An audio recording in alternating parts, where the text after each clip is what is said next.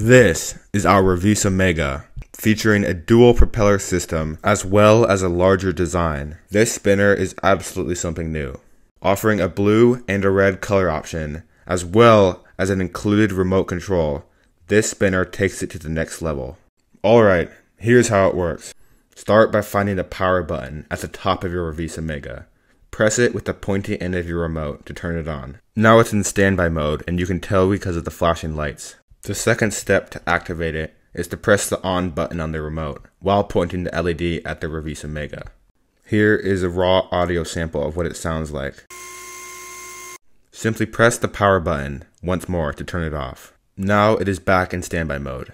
Again, all you have to do to turn it off in this position is press the pointy end of the remote to the power button located on the Ravvisa Mega.